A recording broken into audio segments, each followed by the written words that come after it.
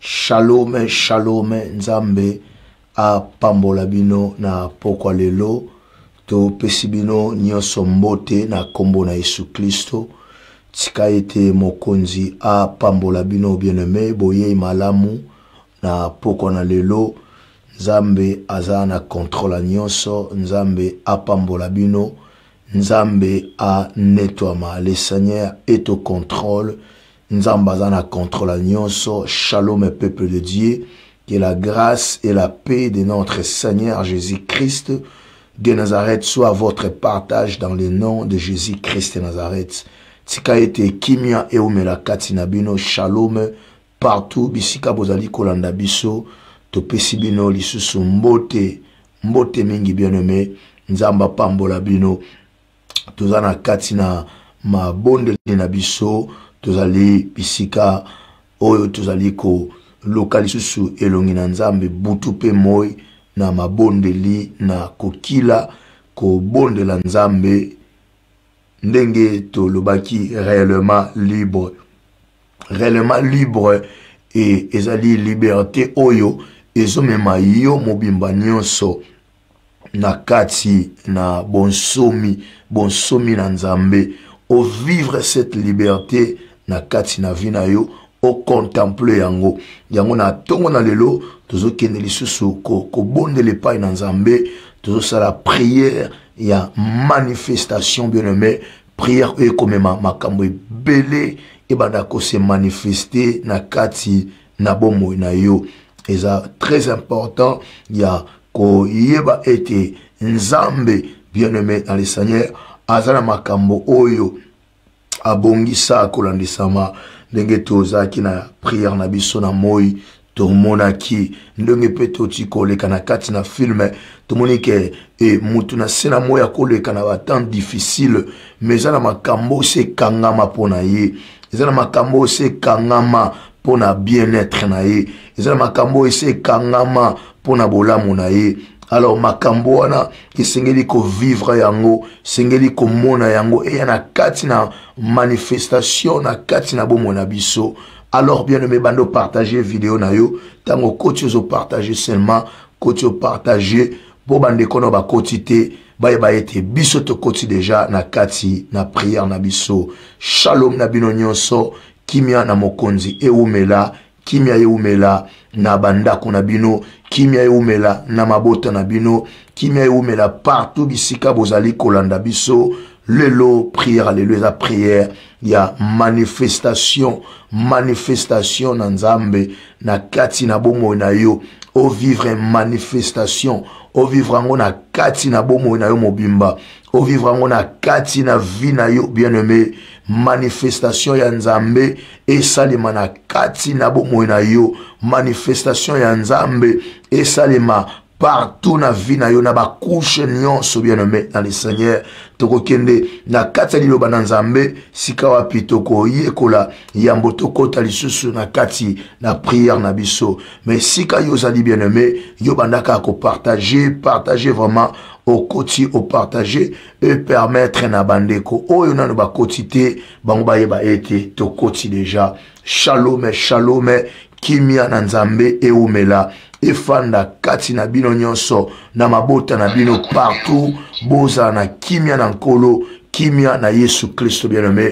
partage bandeko bayeba ke toza deja na kati tokoti tobandi deja prière na biso na mokolo na lelo alors juna lelo tokoti eza le 21 ezali komarke mbala moko bien aime na le seigneur trois semaines ya mabondeli na biso trois semaines ya jeune et prière na biso lelo eza troisième semaine e nzambe akumama eza na bato ebele oyo bazobondela première fois na kati na vie na bango première fois na kati na vie na bango depuis babanda vie chrétienne première fois babondela ya temps ya molai boye me na nzela na yango nzambe azali kosalela bango ngolu bien aimé tozo croire ete ti tokóma na suka ya priere oyo makambo ebele ekofungwama mpo na bomoi na bino makambo ebele ekochange mpo na bomoi na bino tika ete nzambo ya makoki ezanga ndelo amema manifestation na ye na kati na bomoi na bino obanda kovivre la manifestation ya nzambe na kati na vi na yo obanda kovivre yango omona yango na kati na bomoi na yo na bakushe na yango nyonso na nkombo na yesu klisto manifestation ya nzambe na kati na bomoi na yo manifestation ya nzambe na kati na sante na yo manifestation ya nzambe na kati na vie na yo dans le nom puissant de jésus christ na kombo na yesu kristo manifestation ya maladi ebanda kosarete manifestation ya bobola manifestation ya pauvrete ebanda kotika yo na kombo na yesu kristo nzambe abanda kose manifeste bien aimé manifestation eza action ya kose manifeste action ya komimonisama action ya kotombolama bien aimé na le seigneur tika ete nzambe na butwa lelo asala grâce na ye na kati na vie na yo asala ngolu na ye na kati na bomoi na yo manifestation na domaine nyonso ovivre manifestation ya loboko na nzambe ya loboko na nzambe na nkombo na yesu kristo na nkombo na yesu kristo manifestation ezali apparition bien aimé na le seigneur ezali apparition na nzambe ebanda kosalema na kati na bomoi na yo na nkombo na yesu kristo ngolu na nzambe etelema ngolu na nzambe emonisama na vi na yo Nzamba se manifester maintenant. Nzamba se manifester. Nzamba se manifester. Na kombo na Yesu Masiya. Au nom de Jésus-Christ Nazareth. Yahweh Nzamba moni sa grâce na ye. Na kati na vie na yo. Nyosi banda ko changer. Na kombo na Yesu Christ ya Nazareth. Nzamba banda ko se manifester. abanda komimonisama ye moko na mobimba na yo na kati na vi na yo na kati na sante na yo na domene nyonso ya vi na yo na nkombo na yesu kristo ekomi ngongo banda kovivre manifestation ya nzambe na bomoi manifestation ya baangelu na nzambe ebanda kosalema na bomoi na yo na nkombo na yesu masiya na nkombo na yesu masiya au nom de jésus christ nazareth nzambe atelema na vi na yo nzambe abanda kochange nyonso achange nyonso na vi na yo achange nyonso na vi na yo la manifestation de dieu komimonisama ya nzambe komimonisama ya nkolo ebanda kosalema na kati na vi na yo na kati na bomoi na yo na nkombo na yesu klisto na nkombo na yesu klisto manifestation ya nzambe ezali apparition ya nzambe nzambe aye koaparaitre bongo abanda kosala misala na ye na kati na bomoi na yo tika ete na pokwa na lelo nyonso ebanda kozwa forme ya sika nzambe ase manifeste na vi na yo na nkombo na yesu kristo la manifestation de dieu balinga balinga te nzambe ase manifeste nzambe ase manifeste maladi ese manifesta minganga bamoni yango gerison na yo ebanda kose manifeste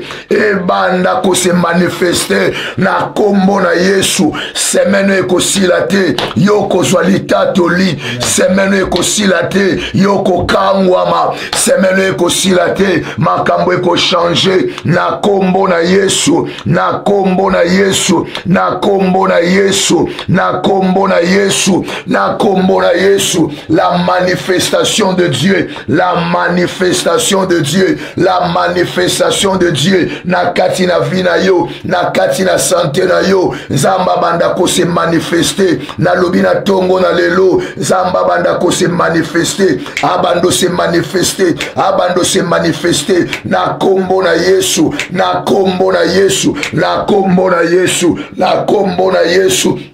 au nom de jésus christ na nkombo na yesu masiya nzambe atelema na ntongwa lelo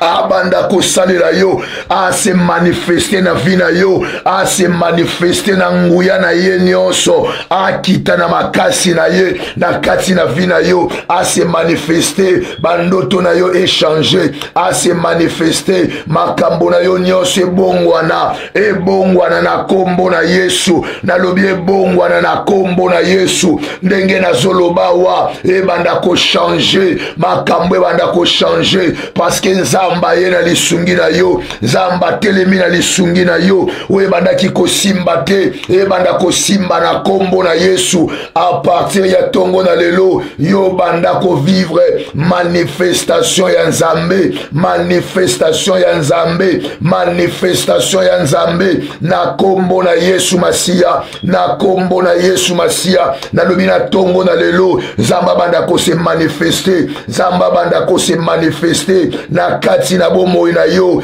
au nom de jésus christ na kombo na yesu masiya na nkombo na yesu masiya nabandi koloba na yo vi na yo ebanda kozwa forme na nkombo na yesu na nkombo na yesu na nkombo na yesu tika ete priere ya ntongo na lelo emema nzambe ase manifeste emema nzambe ase manifeste nzambe aya na lisungi na yo nzambe abanda kose manifeste na nkombo na yesu kristo nalobi na nkombo na yesu kristo la manifestation de dieu la manifestation de dieu na kati ya ndako na yo na kati ya sante na yo na kati ya vi na yo na kati ya makambo na yo nyonso na nkombo na yesu masiya nzambe ase manifeste na ntongo na lelo nde toti kotala na kati na filme tomoni ete village ewumelaki na kati ya molili me ntango nzambe ase manifeste makambo echange na nkombo na yesu masiya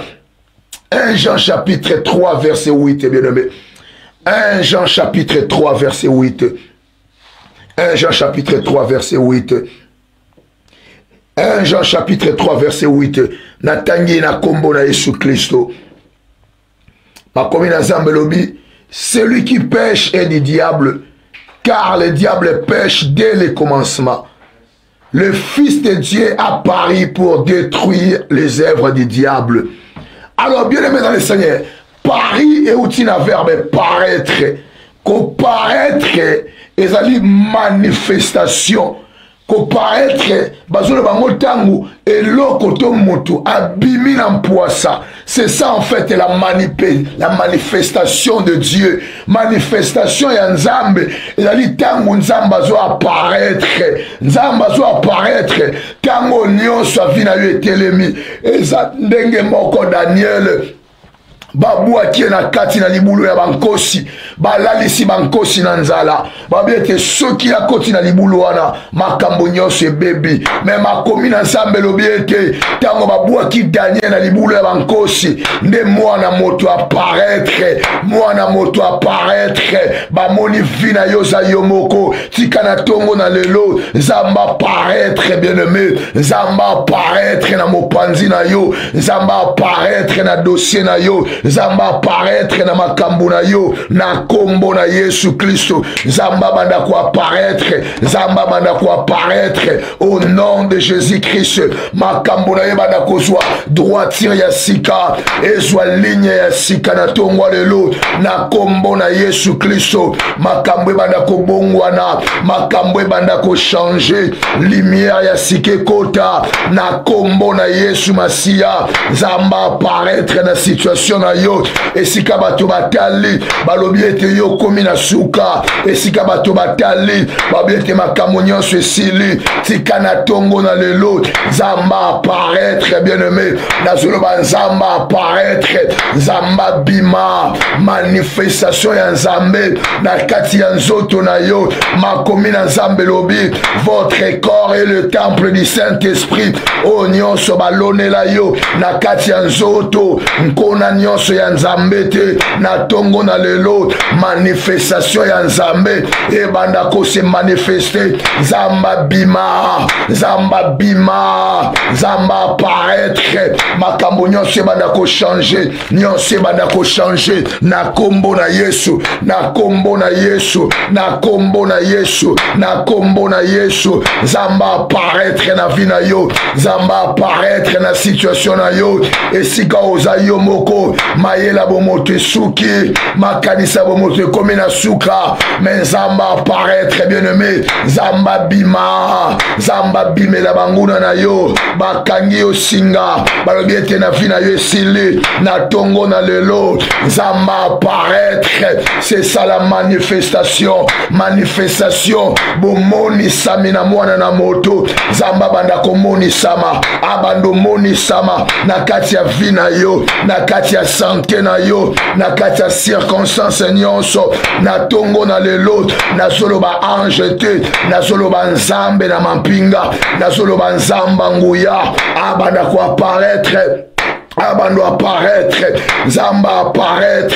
na kati ya situation na yo il nous arrive souvent na vie nazomwa lokola nazotambola nga moko naza na pui te naza na lisungi te nazosala nyonso nga moko makambo nyonso ekangami na mboko ya bapaya papa te mama te noko te cousin te makambo ezomarche ndenge nini nga na ye mboka bapaya nazomaka na kati ya souffrance me tika ete na ntongo na lelo nzambe aparaitre nzambe abimela yo nzambe amimonisama nzambe amimonisama na kombo na yesu na kombo na yesu na kombo na yesu na kombo na yesu zamba mimonisama zamba apparaître bien aimé zamba apparaître na tongo lelo nalobi nzamba apparaître esika oyo ozali nzamba bimela yo nzambo ya bimelaki gedeon ayebisaki ye te gedeon vaillant héros me na kati ya vi na ye azovivre na humiliation Sion, nalingi natalisa yo soki nzambe aparaitre eloko eza noire ekokoma pembe soki nzambe aparaitre makasi na yo ekozonga na ntongo na lelo nzambe aparaitre na ministère na yo nzambe aparaitre na sante na yo nzambe aparaitre aparaitre manifestation ya nkembo na nzambe ebanda kosalema na ntongo na lelo nkembo na nzambe ebanda komonisama na ndako na yo na bomoi na yo na bana na yo na bana na yo na bana na yo na bana na yo na bana na yo echange echange echange echange echange echange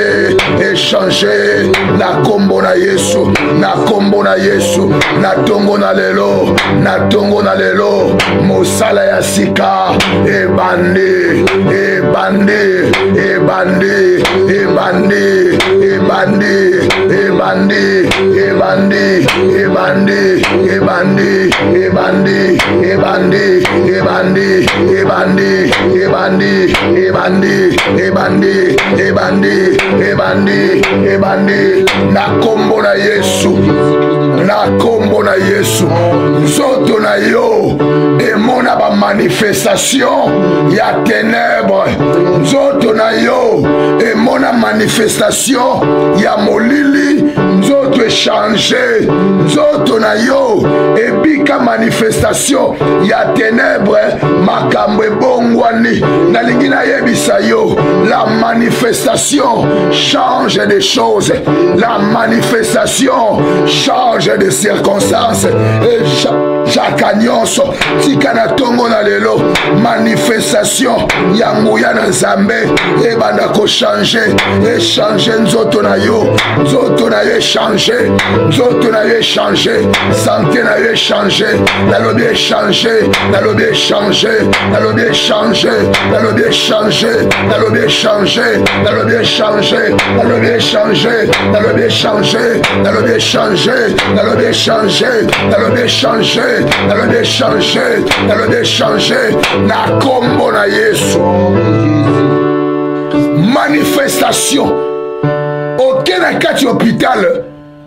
basali examen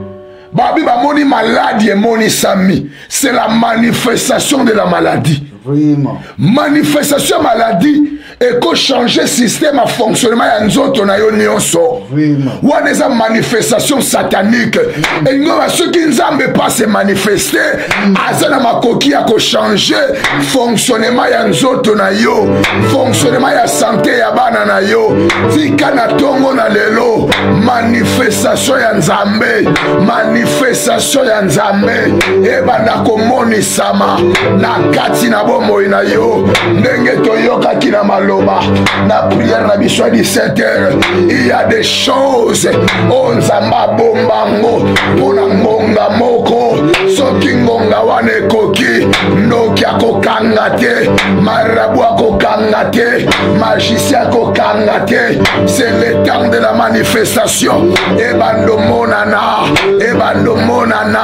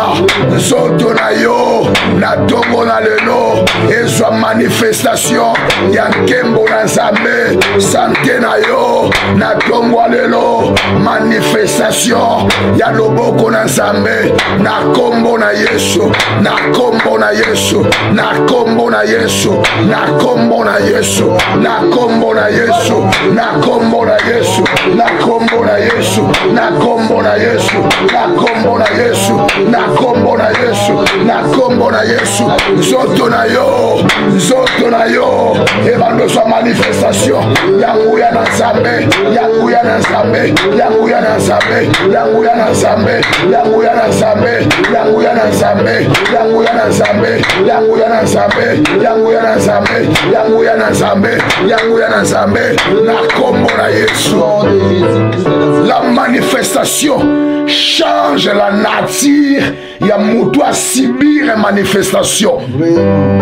bien aime dans le seigneur saul abungisi bibwele ya papa aye kokutana na samuel samuel apakoli ya mafuta ayebisi ye maloba alobi ete l'esprit de l'éternel te saisira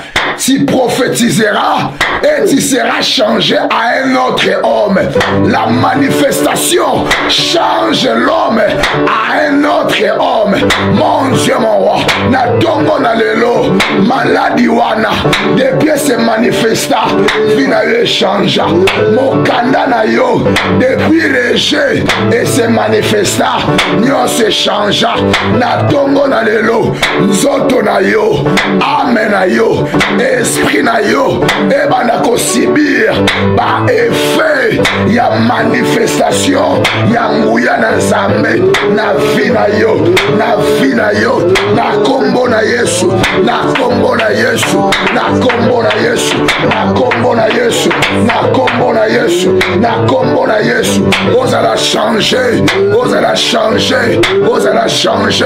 ozala change na nkombo na yesu e après manifestation nyonso ememaka vent ya changement la manifestation marche avec le changement tokozala na moi makasi mais soki niage ekoti temps ekochange automatiquement parce que niage ase manifeste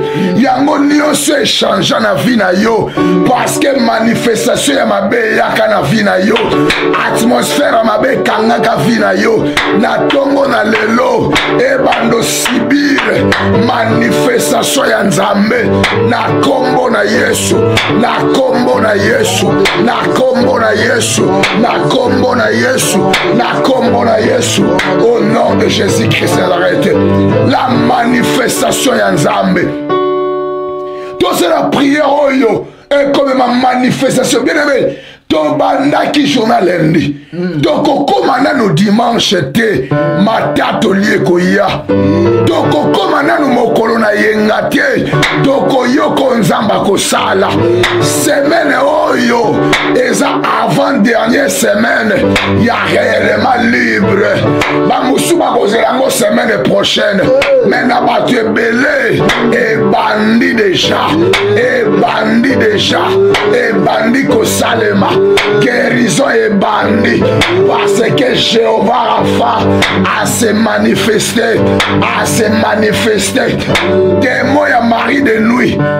a se manifesta moto akoma victime ya mari de nuit demo ya femme de nuit a se manifesta moto akoma victime ya femme de nuit me na pokwa na lelo jehova rafa jehova jire jehova jire le pourvoyeur a se manifeste na kati ya vi na yo na kombo na yesu na kombo na yesu na kombo na yesu na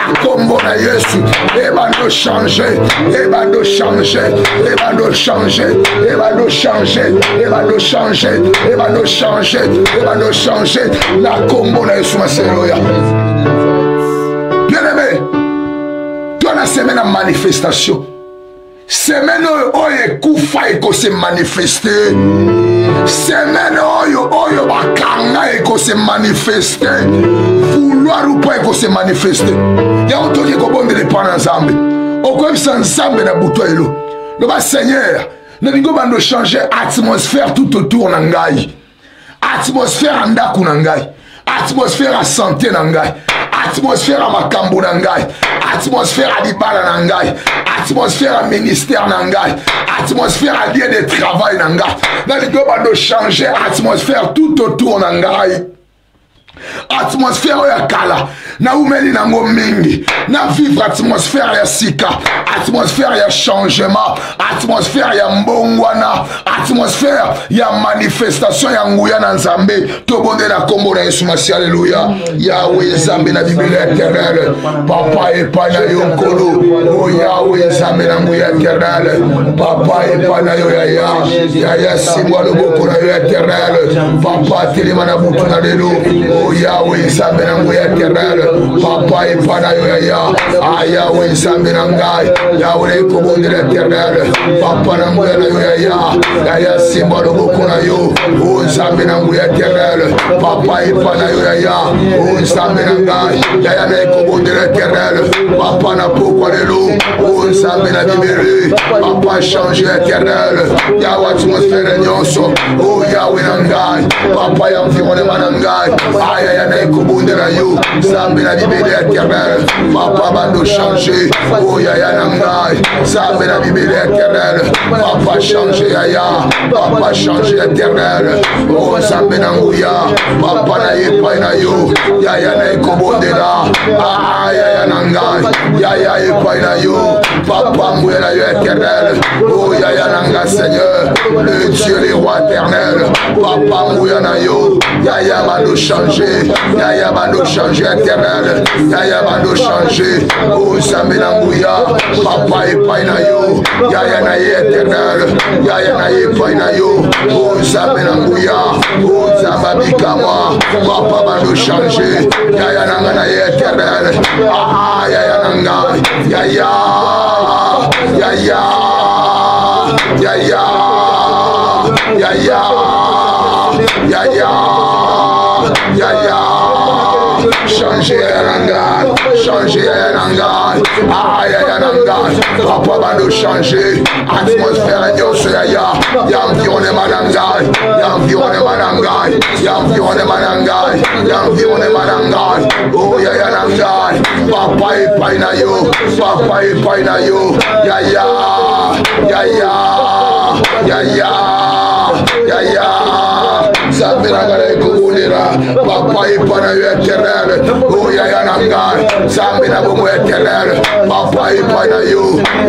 ya yaka yaka yaka ah, yaya na ngai zambe telema eterere change atmosphère yaya na kombo ya yesu masi aleluya o zambe na bolingo nkolo Alléluia.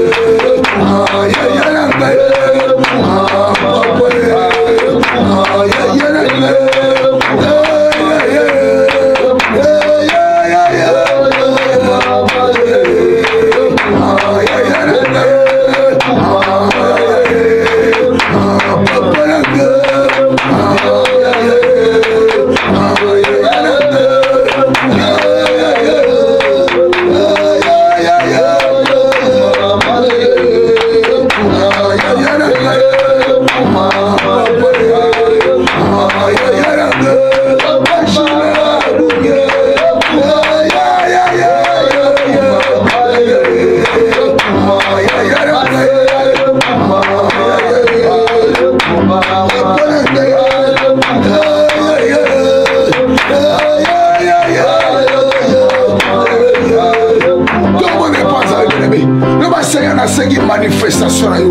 bando se manifeste na vi na ngai bando se manifeste ngai namona yo namona misala na yo namona bolamu na yo bando se manifeste na vi na ngai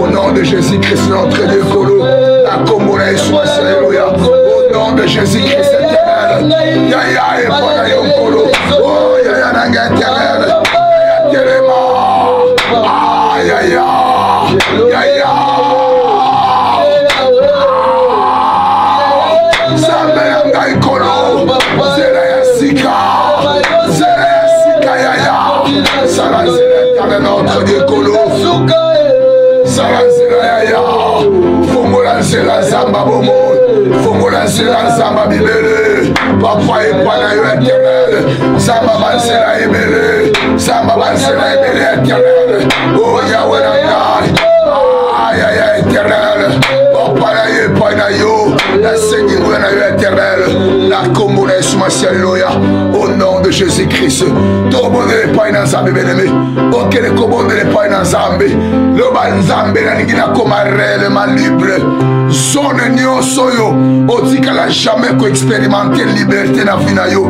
domaine nyonso ya vie na yo aspect nyonso ya vie na yo otikala jamais koexperimente liberté bondela nzambe na ntongo lelo loba seigneur réellement libre réellement libre na likambo na yo banda kobima na boloko nyonso prizo ezalaka deteni na yango deneme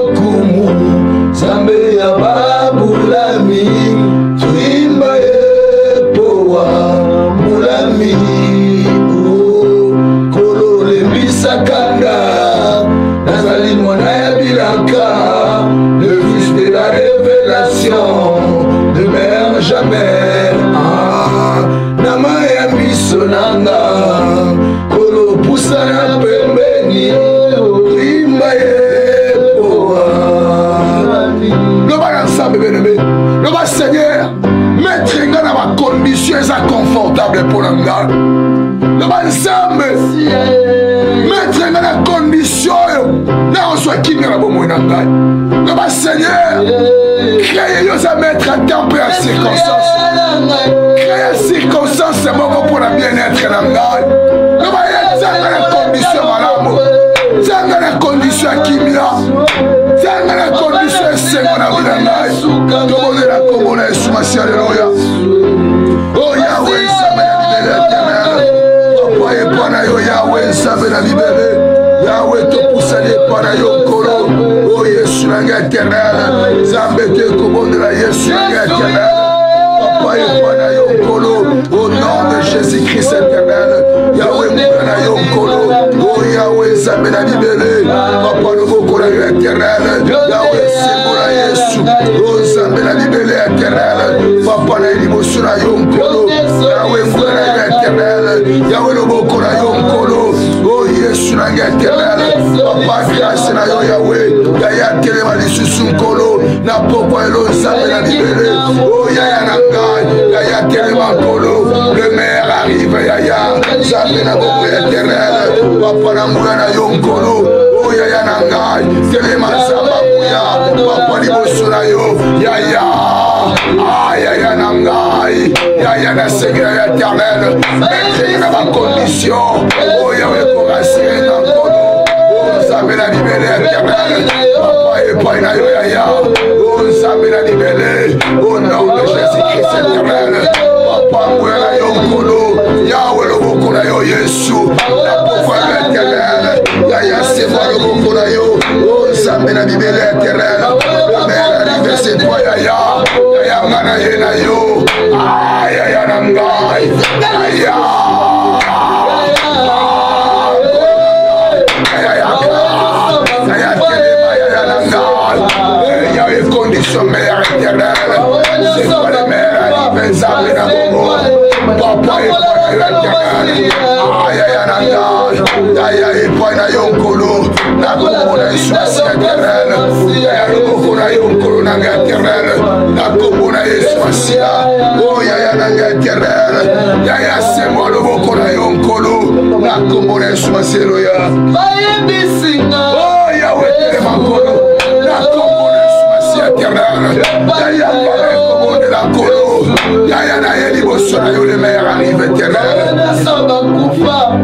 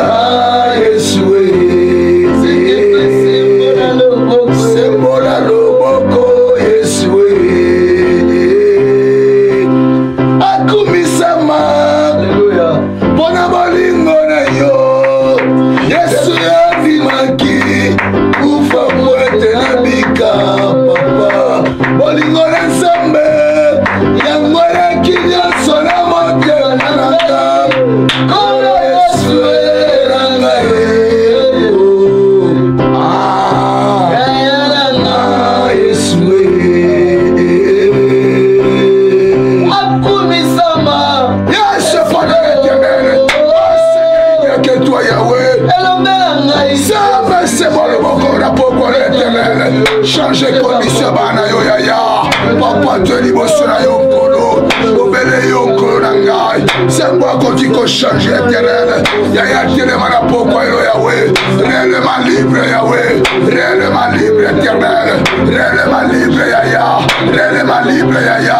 la Comore Sumaseloya, Tobo de la Denebe, Moninga Mina le Seigneur, Mikolo Totika Inango, eza moke par rapport à mikolo si tolekisi yebisa nzambe ete na mikolo totikali nango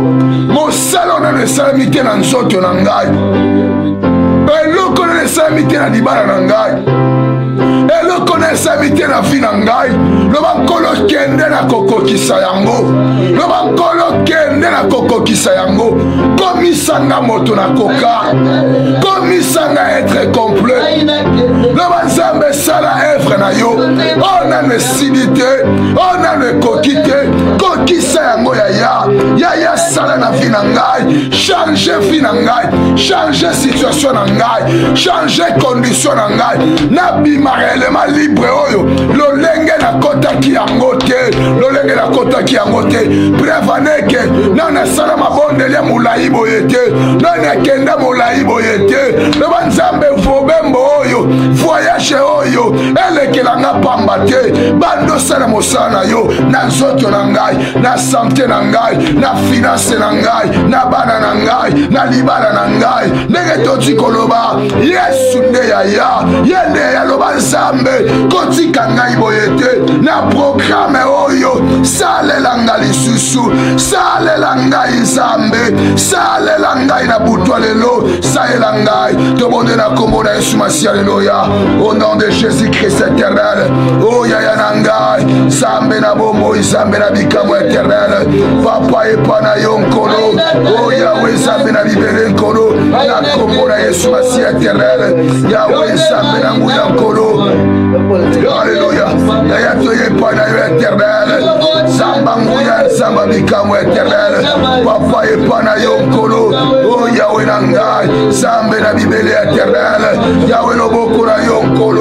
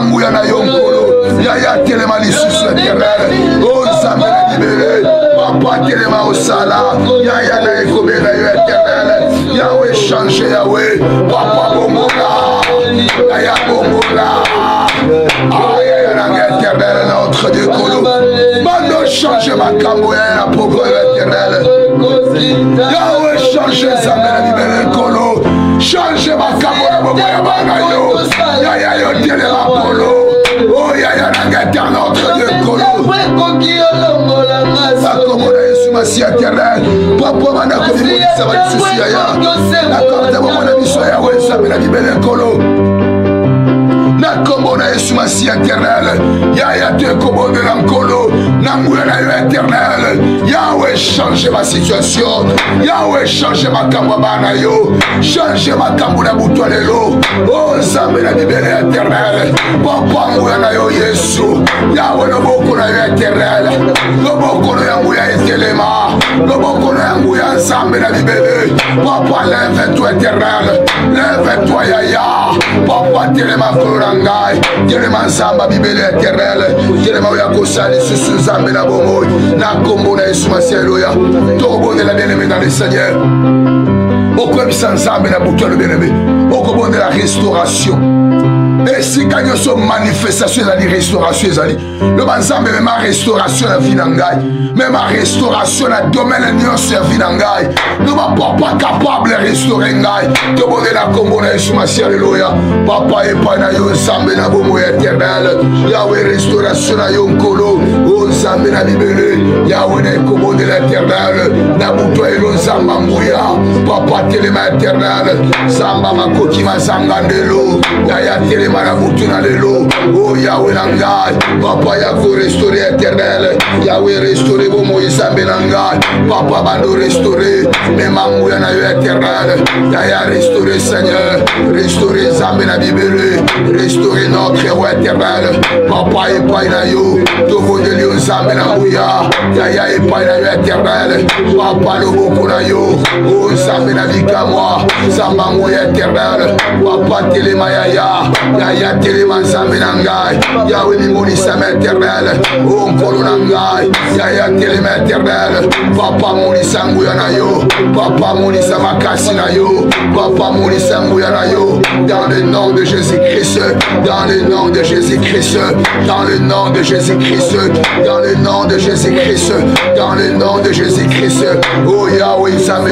ngai papa na ye na butu ya lelo yawe nzamba restauration papa bando restaure bando restaure nzambe na nguya papa restaure éternel restaure nzambe na ngai o yaya na butu ya lelo papa restaure seigneur mema restauration yawe mema restauration éternel yawe nzambe na bibele yawe nzambe na bikamwa mema restauration éternel na kombo na yesu masiya leloya au nom de jésus christ leloya na kombo na yesu masiya leloya tokobondela bieneme na le seigneur tokende kotika butu na ye na maboko na nzambe bieneme tokotika mpe 3 jours ya mabondeli oyo oh, twana yango semaine prochaine bieneme ezala mikolo ya délivrance bieneme ezala mikolo ya lobiko ezala mikolo bieneme oyo oh, bana na nzambe bakomonisa lisusu loboko na nzambe na kati na bomoi na bango tokosenga epai na nzambe na butu ya lobianeme ete nzambe amimonisama na kati na bajournal ya mabondeli nzambe atelema bieneme nzambe ase manifeste nzambe aya na nguya na ye nzambe atelema bieneme tobonde na nkombo na yesu masi aleluya yawe nzambe na likambo eternel papa epai na yo nkolo o oh, yawe nzambe na bibele le dieu de grâce eternel papa na telema epai na yo au nom de jésus christ éternel yawe nzambe na bibele yawe nzambe na bikamwa na nkombo na yesu masiya au nom de jésus christ yawe nzambe na nguya nkolo papa epai na yo éternel yawe nzambe na bibele au nom de jésus christ éternel papa napusani epai na yo yawe nzambe abomoi papa loboko na yo éternel au nom de jésus christ yawe esambela bibele yawe esamba bikamwa samba nguya nsamba makoki masanga ndelo papa na 3 jour oyo ya mabondeli ya eternel ezala mikolo yawe yaka kokangolama mikolo ya lobiko na nkombo na yesu masi ya eloya au nom de jésus christ eloya na nkombo na yesu masi ya eloya au nom puissant de jésus christ nazarete aleluya tokopesa nzambe merci oyo abandaki na biso na ebandela komi na biso na